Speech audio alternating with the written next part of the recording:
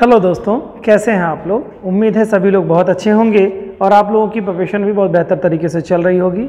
दोस्तों, जैसा आपको पता है कि हम लोग टाइम एंड वर्क के चैप्टर को पढ़ रहे हैं, जिसमें हम लोगों ने लगभग पाँच छः तरीके के क्वेश्चंस टाइप्स को देख लिए हैं। आज हम लोग इसी क्रम में आज टाइप सेवन के क्वेश्चंस को के साथ आप लोगों के साथ रूबरू हैं और जिसमें हम लोग देखेंगे आज की इसमें क्वेश्चन जो आता है, वो बहुत ही महत्वपूर्ण पुरुष स्त्री और बच्चों पर आधारित जो प्रश्न आते हैं, उस ये बड़े ही महत्वपूर्ण सेगमेंट होते हैं। लास्ट जो टाइप हम लोगों ने सिक्स देखा था वो भी काफ़ी महत्वपूर्ण है। इसमें कई तरह के क्वेश्चंस आते हैं। तो टाइम और वर्क का जो चैप्टर है, आपके लिए बहुत ही कंपटीशन के दृष्टिकोण से काफ़ी महत्वपूर्ण है और ये समझ आपके अंदर होनी बहुत ज़रूरी है। तो आइए देखते हैं दोस्तों कि कैसे स्त्री पुरुष और बच्चों के बारे में पर आधारित प्रश्न कैसे आते हैं कार्य और समय के चैप्टर में। तो देखिए इसमें होता क्या है, इसके प्रश्नों को कैसे सॉल्व किया जाता है, ये तमाम सारी चीज़ें आज हम लोग टाइप सेवन के वीडियो में देखेंगे। क्वेश्चन दिया हुआ है एक क्वेश्चन को पहले लेते हैं, फिर इसको समझने की कोशिश करते हैं कि ऐसे प्रश्नों को कैसे हम सॉल्व करेंगे। कह रहा है, दस आदमी अथवा बीस स्त्रियाँ, यानी कि या तो दस व्यक्ति काम कर रहे हों या बीस स्त्रियाँ काम कर रही हों, ठीक है? किसी काम को तेरह दिन में पूरा करते हैं तो 24 आदमी और 17 स्त्रियाँ उसके दुगने काम को कितने दिनों में पूरा करेंगे?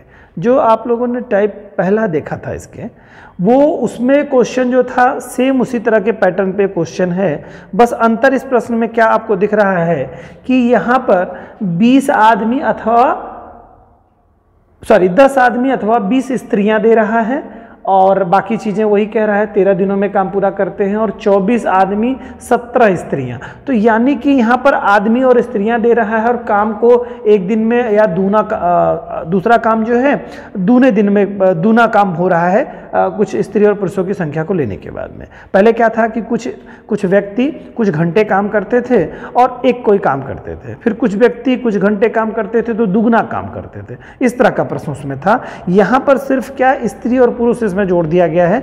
और तो इसमें करना क्या होगा? या तो स्त्रियों को पुरुषों के बराबर बना मतलब उसकी मतलब किसी एक फॉर्मेट में चेंज कर लेना होगा। जैसे यहाँ पर स्त्री अथवा पुरुषों पुरुष किसी काम को तेरह दिनों में कर रहे हैं। फिर आगे चूँकि क्वेश्चन में लिखा हुआ है, चौबीस आदमी और सत्रह स्त्रियाँ उसके दो गुने काम को कितने दिनों में करेंगे? यानी कि दो चीज़ें यहाँ दे दी गई हैं। पुरुष स्त्रियाँ दोनों दे दी गई हैं। तो या तो पुरुषों को स्त्रियों में कन्वर्ट कर लीजिए, या स्त्रियों को पुरुषों में कन्वर्ट कर लीजिए। कन्वर्ट करने का मतलब है किसी एक फॉर्मेट में आपका होना चाहिए। या तो सारे पुरुषों पुरुषों में हो या तो सारे स्त्रियों स्त्रियों में हो, क्योंकि पहले वाले क्वेश्चन में देखिए कह रहा है, दस आदमी अथवा बीस स्त्रियाँ, यानी किसी एक को मान करके तो आप क्वेश्चन को आगे सॉल्व करेंगे। दोनों को लेकर तो सॉल्व नहीं करना है ना? जैसे 20 10 आदमी किसी काम को तेरह दिनों में करते हैं, ये मानना या तो होगा आपको, या तो मानना होगा 20 स्त्रियाँ किसी काम को तेरह दिनों में करती हैं। समझ गए होंगे बात को? तो आगे के स्टेप में कह दे रहा है, चौबीस आदमी और सत्रह स्त्रियाँ। यानी दोनों भिन्न है। या तो इसको स्त्रियों में कन्वर्ट कर लीजिए, या तो इसे पुरुषों में कन्वर्ट कर लीजिए। समझ गए होंगे कॉन्सेप्ट को? इसी कॉन्सेप्ट पे क्वेश्चन को करेंगे। फार्मूला जो पुराना था, वही फार्मूला है पहले वाक्य का गुणनफल, बटे पहले पहले में जो है गुणनफल के द्वारा जो काम की प्राप्ति हो रही है एक काम, दो काम, जितना का भी काम हो, वह होगा ठीक है, पहले का, पहला वाक्य का जो कार्य है वो आपको प्राप्त होगा। दूसरे में फिर वही चीज़ होगी, दूसरे वाक्य का गुणनफल बटे दूसरे काम, वाक्य का कार्य आपको करना होगा। चलिए आइए देखते हैं कैसे करते हैं इसको। तो इसमें देखिए क्या होता है कि, इसमें कुछ चीज़ें आपको निकालनी होती हैं जैसे एक पहला वाक्य मतलब पहले एक वाक्य के तौर पर लेंगे, फिर दूसरा वाक्य करेंगे, दोनों का आपको गुणनफल कर लेना होगा और कार्य जो है वो बटे में कर देने होंगे। पहले वाले गुणनफल का कार्य नीचे कर देना होगा, जितना कार्य हुआ है बटे कर देना होगा मतलब और फिर दूसरे वाले का कार्य का गुणनफल के बटे जितना कार्य हो पा रहा है, ये करना होगा। तो देखिए, पहले वाले में क्या है? दस पुरुष बीस स्त्रियों या बीस, अथवा बीस स्त्रियाँ किसी काम को करती हैं। यानी कि दस पुरुष, कह रहा बेटा, दस पुरुष अथवा बीस स्त्रियाँ, अथवा बीस स्त्रियाँ, ठीक है? स्त्रियाँ। बीस स्त्रियाँ हमारी, हैं। किसी काम को जो कर रही हो क्या? तेरह दिनों में कर रहे हैं। तो काम को आपको कन्वर्ट यानी कि अगर हम देखें, कि अगर हम इसको देखने से आप समझने की कोशिश करिएगा जरा, कि यानी कि यहाँ पर दस पुरुष काम कर ले रहे हैं, तेरह दिन में तेरह दिनों में काम पूरा कर ले रहे हैं, और उसी में, उसी काम को करने के लिए बीस स्त्रियाँ लग रही हैं, किसी कार्य को करने में वही वही सेम काम कर रहे हैं, जो दस पुरुष कर रहे हैं, वही बीस स्त्रियाँ कर रही हैं। यानी कि यहाँ पर अगर हम इमेजिन करें तो आप देखेंगे कि दो कॉन्सेप्ट इसको समझने के पहला आप सरल कॉन्सेप्ट ले लीजिए, यानी कि दस दस दूनी 20 यानी कि महिलाएँ दूनी लग रही हैं। महिलाएँ उस कार्य को पूरा करने में दूनी महिलाएँ लगानी पड़ रहे हैं। और अगर महिलाओं की संख्या में अगर पुरुषों में कन्वर्ट करेंगे तो फिर महिलाएँ क्या हो जाएँगी? दूनी हो जाएँगी। महिलाएँ क्या हो जाएँगी? उसे दूनी हो जाएँगी। मतलब यानी कि महिलाओं की संख्या जो है, ज़्यादा होगी कम पुरुष। यानी कि जो जो काम पाँच पुरुष कर लेंगे, वही काम दस महिलाएँ कर रही हैं। ये सेंस यहाँ पे निकल के आ रहा है ना? तो ये चीज़ें आपको देखनी होंगी। यानी कि यहाँ पर एक पुरुष बराबर, एक पुरुष जो बराबर हो रहा है, वो कितने को हो रहा है? दो महिलाओं के बराबर हो रहा है। हो रहा है कि नहीं हो रहा है भाई? महिलाओं या स्त्रियों? जो भी लिख रहा हूँ यहाँ पे, स्त्रियों के बराबर हो रहा है। यही तो कॉन्सेप्ट निकल के आ रहा है। एक एक पुरुष बराबर, दो महिला के बराबर हो रहा है। इसी तरह से दस पुरुष दस पुरुष हो जाएगा तो कितना हो जाएगा? बीस महिलाएँ हो जाएँगी, यानी स्त्रियाँ हो जाएँगी। समझ गए होंगे बात को आप कॉन्सेप्ट तो ये चीज़ कॉन्सेप्ट है। अब करना क्या होगा? बस फार्मूला आपके पास पहले से है। सारे क्वेश्चन अब आपको समझ में आ गए होंगे। देखिए क्या करना है। अब हम लोग मान के करेंगे किसी एक में चाहे स्त्री या पुरुष में जो कहिए मैं मान लेता हूँ मैं मान लेता हूँ स्त्रियों की संख्या। स्त्रियों के आधार पर हमको क्वेश्चन करना होगा तो आ, कर लेते हैं हम लोग स्त्रियों के आधार पर। तो यहाँ पर क्या कह रहा है? पहले वाले कॉन्सेप्ट में यानी कि बीस स्त्रियाँ ठीक है। बीस स्त्रियाँ किसी काम को कितने दिनों में कर रही हैं? तेरह दिनों में कार्य कर रही हैं। इंटू तेरह हो जाएगा, क्योंकि दोनों का गुणनफल है। तेरह हो गया, बटे में क्या हो जाएगा? कितना काम हो रहा है? एक काम हो रहा है। ठीक है?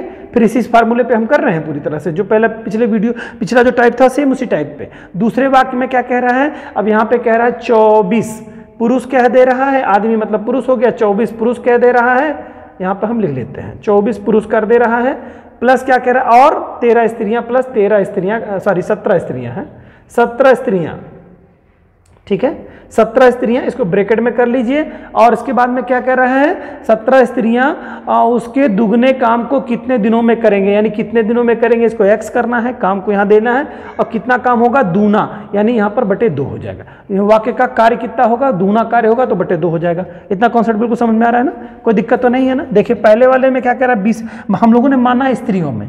तो जो पुरुषों की संख्या, उसको हमको कन्वर्ट कर लेना है स्त्रियों की संख्या में। और कुछ नहीं करना है। तो क्या कह रहा है? पहले वाक्य का गुणन कर। पहला वाक्य क्या निकल के आया बेटा? यही ना कि 10 पुरुष यानी अथवा 20 स्त्रियाँ तो हम लोग मान लिए हैं कि क्वेश्चन को हम सॉल्व करेंगे स्त्रियों की संख्या बना करके। पुरुषों को हम स्त्रियों की संख्या में कन्वर्ट कर लेंगे। ठीक है तो 20 स्त्रियाँ किसी काम को 13 दिन में करते हैं। तो 20 स्त्रियाँ किसी काम को 13 दिनों में कर रहे हैं। काम कितना हो रहा है? एक कार्य की प्राप्ति हो रही है। ठीक है तो ये क्या हो रहा है? पहले वाक्य का गुणनफल, ये पहला वाक्य हमारा निकल के आ गया यहाँ तक का। तो पहले वाक्य का गुणनफल, ठीक है? बटे में पहले वाक्य का, पहले वाक्य के द्वारा किया गया कार्य। तो पहले वाक्य का कार्य एक ही कार्य हो रहा है ठीक है?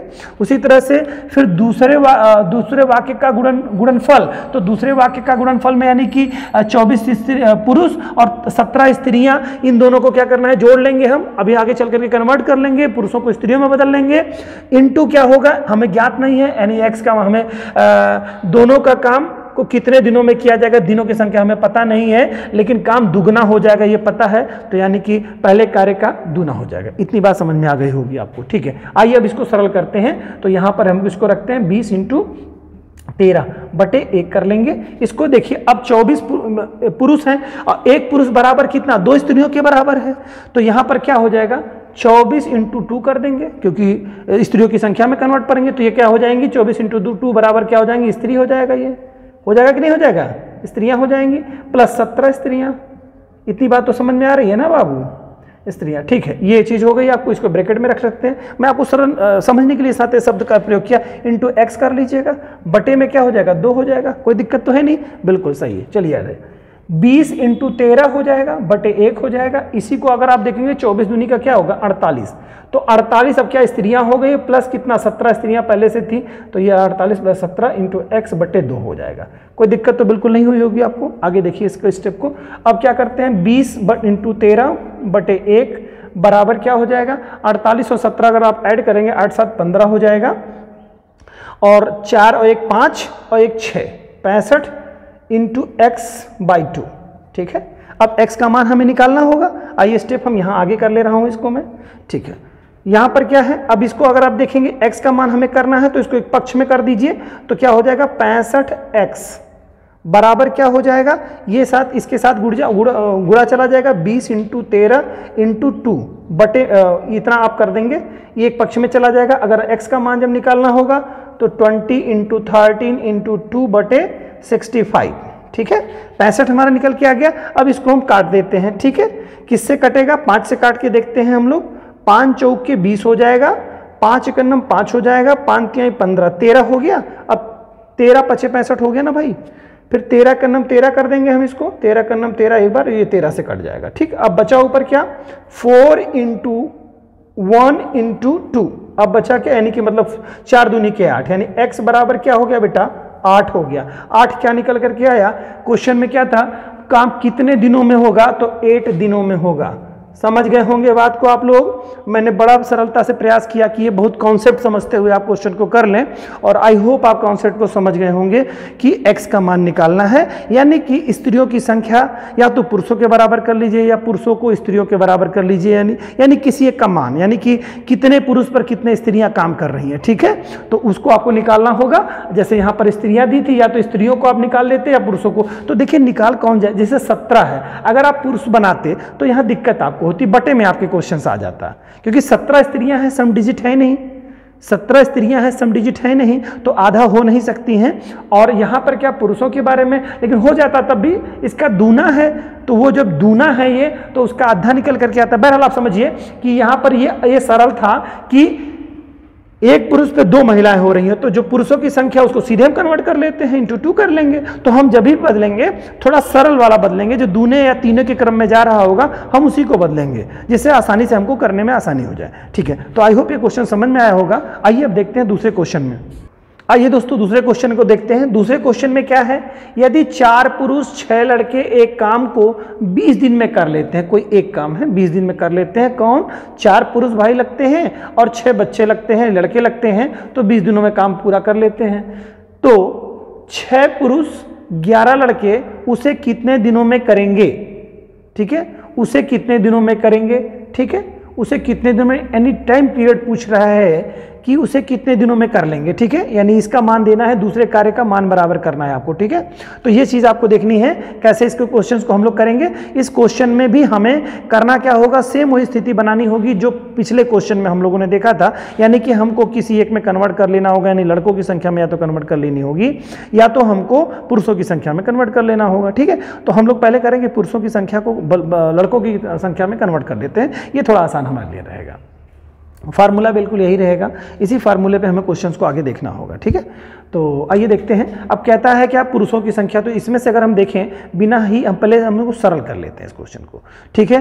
कह रहा है, या तो चार पुरुष या छह लड़के काम को 20 दिन में कर लेते हैं, ठीक है? तो 20 दिन में काम कर लेते हैं एक एक काम हो जाएगा तो यहाँ पर आपका मतलब हो गया, यानी कि चार पुरुष हो जाए, और पुरुष हों, ऐसे चार पुरुष हों, ठीक है? और या तो छः लड़के हों, या छः लड़के हों लड़के हों, ठीक है? तो ये चार पुरुष या छह लड़के हों, दोनों में से कोई एक हो, यानी इसका मतलब हो इंटू क्या हो जाएगा? आपको क्या करेंगे? बीस बटे बीस बटे एक काम हो जाएगा। यही फार्मूला आपका बनेगा, लेकिन हमें निकालना है, पुरुषों की संख्या को कन्वर्ट कर लेना है बच्चों की संख्या में, यानी बच्चे कितने लगेंगे लड़के कैसे लगेंगे? तो एक पुरुष बराबर क्या हो जाएगा? अगर ये मान दे रहा है, एक पुरुष बराबर क्या हो जाएगा? एक पुरुष। अगर हम देखेंगे, चार पुरुष बराबर क्या रहा है? छः लड़के। तो चार पुरुष यहाँ लिख दे रहा हूँ मैं, चार पुरुष पुरुष बराबर छः लड़के हैं। ठीक है। तो निकालना होगा। एक पुरुष का अगर मान निकालना है हमको है या एक लड़के का हमको मान निकालना है तो हम लोग क्या कर लेंगे? निकालना है हम लोगों का तो यही कर लेंगे हम लोग छः बटे चार। यानी कि ये हम लोग जब कर लेंगे तो पुरुष की संख्या निकल आएगी और ये निकल के आएँगे लड़के। ये बनेंगे क्या? लड़के। एक पुरुष बराबर छः बटे चार लड़के हो जाएँगे। ठीक है? अब इसको सरल कर देंगे, चूँकि ये सम डिजिट है तो कट जाएगा। तो दो दो दूनी के चार हो जाएगा, दो तिहाई छः यानी एक पुरुष बराबर कितना हो जाएगा? एक पुरुष बराबर हो जाएगा तीन बटे दो लड़के। तीन बटे दो लड़के। बस हमारा मान निकल गया। बस सवाल हमारा हो गया साल। कुछ भी हमें नहीं करना है। अब क्वेश्चन को हमको इसी पे रख देना है। अब करना क्या है हमको? यानी कि अब हमको निकालना है क्वेश्चन में कह रहा है चार पुरुष छह लड़के या छह लड़के किसी काम को मतलब जो है आ, किसी काम को बीस दिनों में कर लेते हैं। किसी काम को 20 दिनों में कर लेते हैं तो हम लड़कों पे कर लेते हैं। तो छः लड़के काम कर रहे हैं कितने के दिनों में कर रहे हैं? 20 दिनों में काम कर रहे हैं। और काम कितना हो रहा है? एक काम हो रहा है। ठीक है? पहले का मान हो गया। दूसरे में आइए। दूसरे में क्या कह रहा है? छह पुरुष। यहाँ पे क्या कह रहा है छह पुरुष। ठीक है? छह पुरुष। ठीक? और क्या कह रहा है? लड़के। ग्यारह लड़के प्लस ग्यारह लड़के। यही हो रहा है? ग्यारह लड़के हो रहे हैं। छह पुरुष, ग्यारह लड़के। अब क्या कह रहे हैं क्या? लड़के उसे कितने दिनों में करेंगे? फिर यानी कि इसका मतलब एक ही काम है, वो भी काम, यानी सेम काम की बात कर रहा है, करेंगे यानी कि इसका मान x बराबर एक बटे एक्स कर दिया जाएगा इसको, ठीक है? यही चीज़ है, यही काम करने के लिए आपको सीधे करना है। अब करना क्या है? सीधे से इसको कन्वर्ट कर लेना है, बस आपको करना क्या है? सिक्स इंटू ट्वेंटी बटे वन बराबर ऐसे कर लेंगे आप। छः पुरुष जो है, उसको कन्वर्ट करना है लड़कों में तो छः पुरुष हैं इंटू लड़कों की कन्वर्ट करने के लिए आपने देखिए तीन बटे दो किया था इंटू तीन बटे दो हो जाएगा यहाँ पे। समझ रहे हैं बात को? तो ये बन जाएँगे लड़के। बनेंगे क्या? अब लड़के हो गए। प्लस ग्यारह लड़के। मैं आपको सर, समझने के लिए बिल्कुल स्टेप बाय स्टेप समझा रहा हूँ। कुछ भी इसमें छोड़ नहीं रहा हूँ। इंटू एक्स हो जाएगा मान जो दे रहा है। एक्स सीधे में कर दे बटे एक कर देंगे। ठीक है? अब बात में करेंगे क्या? सिक्स इंटू ट्वेंटी बराबर क्या कर लेंगे? इसको आप देखिए। अब यहीं से सरल जब करेंगे आप तो दो तिहाई छः हो जाएगा। तो तीन हो जाएगा तीन तरीक का नौ। समझ रहे हैं बात को? देखिए, दो एक का नम दो दो तिहाई दो तिहाई छः हो जाएगा, ठीक है? तीन आ गया, अब तीन तीन बच्चे तो गुड़े के साथ बीच में है तो तीन तरीक का नौ। तो नौ बनेंगे क्या? लड़के। नौ लड़के बनेंगे, प्लस ग्यारह लड़के पहले से थे, ठीक है? ग्यारह लड़के पहले से थे, कितना हो जाएगा? नौ, ग्यारह, बीस हो जाएँगे। इंटू क्या है बेटा? एक्स है, बटे एक है। समझ गए इन बात को आप? ठीक है तो अब हो गया क्या हमारा? यहाँ बटे एक कर लीजिए। सिक्स इंटू ट्वेंटी बराबर कितना हो जाएगा? बीस इंटू एक्स हो जाएगा ना? बीस इंटू एक्स हो जाएगा। बटे क्या है? एक है, इसमें भी बटे एक है इसमें भी। पूरा स्टेप चूँकि जो प्रक्रिया दे रहा है सेम उसी स्टेप पे हम लोग करेंगे, ठीक है? आइए, अब आगे देखते हैं इसके आगे। अब ये क्या होगा? ये इसके आगे चला जाएगा, ये इसके बराबर आ जाएगा, ये इसके, इस पक्ष में आ जाएगा। समझ रहे हैं बात को? तो क्या हो जाएगा? बीस एक्स बराबर आपका हो जाएगा 20 इंटू सिक्स या 6 इंटू बीस, कुछ भी कर सकते हैं आप। इसका तिरिया गुड़ा कर देंगे, इसका इधर तिरिया गुड़ा करेंगे तो दोनों पक्ष में एकदम बराबर रूप से आ जाएगा, ठीक है? ये पक्ष आपका बन गया यहाँ पे। अब यहाँ पे x बराबर क्या करेंगे आप? 20 इंटू सिक्स या 6 इंटू बीस बराबर बटे 20 20 बीस से कट जाएगा तो x बराबर क्या हो जाएगा? छः। क्या आ जाएगा? दिन आ जाएगा। क्या कह रहा है कि छः लड़के उसे कितने दिनों में कर लेंगे? यानी कि कुल मिला जुला के कहेंगे बीस लड़के बने कुल, बीस लड़कों की संख्या बनेगी कुल टोटल ना? देखिए, नौ और ग्यारह, बीस बीस लड़के जो बने हैं, यानी बीस लड़के अब किसी काम, यानी कि जो काम छः लड़के कर रहे थे, बीस दिनों में कर रहे थे, वही बीस लड़के कितने दिनों में करेंगे? तो छः दिनों में कर लेंगे। मेरे ख्याल से आप समझ गए होंगे। यानी कि हमने क्या किया? पूरी तरह से जो पुरुषों की संख्या थी, यहाँ पर जो छः पुरुष थे, उनको परिवर्तित किया। तो परिवर्तित करने के बाद में हमारी संख्या आ गई नौ लड़कों की। यानी कि जो छह पुरुष हैं, वो नौ लड़कों के बराबर काम करेंगे और ग्यारह लड़के पहले से दिए हुए हैं। तो नौ और ग्यारह, बीस लड़के हो गए, यानी कि बीस लड़के अब काम करने लगे। छह पहले वाले काम को क्या किया था? छह लड़कों ने काम किया था, जो कि बीस दिनों में बीस दिनों में काम पूरा कर रहे थे, ठीक है? छह लड़के मिलकर के बीस दिनों में काम को पूरा कर रहे थे, किसी एक काम को। तो बीस लड़के मिलकर के उसी काम को कितने दिनों में पूरा कर लेंगे? तो उसी काम को छह दिनों में पूरा कर लेंगे। आई होप दोस्तों समझ में आ गया होगा आपको।